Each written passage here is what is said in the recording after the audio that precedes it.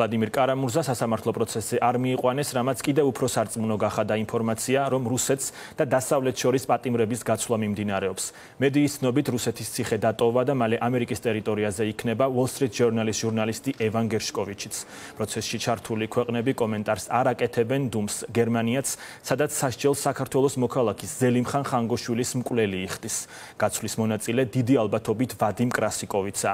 რა ახალი დეტალებია ცნობილი ამ პროცესთან დაკავშირებით თამარ ჭავჭავაძე გვერდება პირდაპირ ეთერში. ამ წუთებში შეერთებულ შტატებსა და რუსეთს შორის პატიმრების მასშტაბური გაცვლის პროცესი მიმდინარეობს. ინფორმაციას უკვე ადასტურებს ამერიკული მედია. რუსული ციხიდან გაათავისუფლეს Wall Street Journal-ის ჟურნალისტი ევან გერშკოვიჩი და ყოფილი საზღვაო ქვეითი პოლ ვილანი. ორივე რუსეთში ჯაშუშობის ბრალდებით იყვნენ გასამართლებული და 16 წლიანი პატიმრობა ჰქონდათ მისჭილი.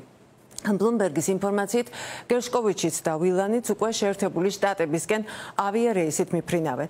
მათი გათავისუფლების სანაცვლოდ ვისი ბრუნებენ რუსები ჯერჯერობით უცნობია, თუმცა კრემლთან დაახლოებული ტელეგრამ არხები წერენ, რომ რუსეთს კალინინგრადში გადასცეს სლოვენიაში შპიონაჟისთვის დაკავებული ცოლქმარი არჭომ და ანა დულცევები, თუმცა ვიზზე გაცვალეს არ არის დაკონკრეტებული.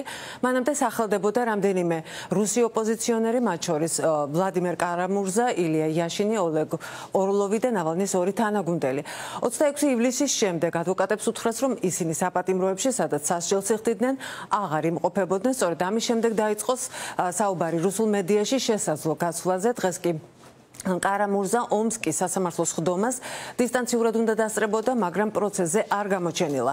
გასაცვლელ პატიმართა შორის გაიჟღერა გერმანიის მოქალაქის რიკო კრიგერის გვარმა, მას სიკვდილი ჰქონდა მისჯილი ბელარუსში და ალექსანდრ ალექსანდრე ლუკაშენკომ გუშინ შეიწყალა სავარაუდოდ რუსეთში დააბრუნებენ გერმანიის ციხეში მყოფ გრუს აგენტს ვადიმ კრასიკოვსაც, რომელსაც ბერლინში ზელიმხან ხანგუშვილის მკვლელობისთვის სამუდამო პატიმრობა აქვს მისჯილი. საერთაშორისო პრაქტიკის მიხედვით ძირითადად ცვლიან ჯაშუშებს. ერთი და მეორე ქვეყანაც იბრუნებს თავის მოქალაქეებს. დღეს სრულიად განსხვავებული სიტუაციაა. ფაქტობრივად საუბარია ერთი ქვეყნის მოქალაქეებზე. თუმცა შეიძლება იყვნენ სხვა ქვეყნის მოქალაქეებიც. დღეს რუსებს ძირითადად ცვლიან რუსებზე. კომენტარი ზედმეტია აქ იმაზე თუ ვის ვიზზე ცვლიან. განსაკუთრებული აქ ისაა რომ ეს ხალხი რუსეთში უკანონოდაა დაკავებული. ხალხს ეუბნებიან რომ დამოუკიდებელმა სასამართლომ მიუსაჯა, მაგრამ სინამდვილეში ქვეყანაში ეს ადამიანები რეპრესიების მსხვერპლი არიან, რომლებიც ისჯებიან სიმართლის გამო. უმრავლესობა ამ სავარაუდო სიაში სწორედ იმის გამო მოყვა რეპრესიების მანქანაში, რომ ეწინააღმდეგებოდა ომს და ეს ომი თავისთავად დანაშაულია. ყველაფერი სცილდება სამართლებრივ ჩარჩოებს და მთავარი ისაა, რომ ეს ხალხი გადარჩეს. И здесь уже тянуть время немцы не могли. გერმანელებს უკვე აღარ შეეძლოთ დროის გაწევა და ფიქრი, უნდა გაეცვალათ თუ არა კრასიკოვი, მაგრამ პუტინი კი ისე მოიქცა როგორც ტერორისტები. გუნდები იქცევიან. არ გინდათ გაცვალოთ, მაშინ დახრეტაზე წავალთ. თქვენ კი გეტყვიან გერმანელები, რომ მოკლეს მათი თანამოქალაქე და ხელისუფლებამ არაფერი გააკეთა მის გადასარჩენად. გერმანელებს სხვა გზა აღარ ჰქონდათ.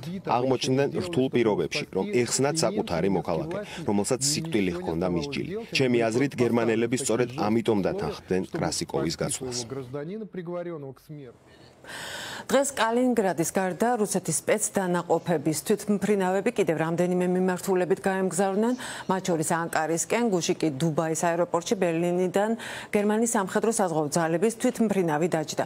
ჯერჯერობით უცნობია გაცვლას ექვემდებარებიან თუ არა ამერიკულ ციხეში მყოფი რუსეთის ხუთი მოქალაქე, თუმცა მათ შესახებ ინფორმაცია სასჯელ აღსრულების ბაზებში აღარ იძებნება, მათ შორის ერთ-ერთი ფიგურირებდა დემოკრატიული პარტიის კომპიუტერების გატეხვის საქმეში 2016 წელს მოპარული ინფორმაცია მაშინ ჰილარი კლინტონის დისკრედიტაციის მიზნით იქნა გამოყენებული.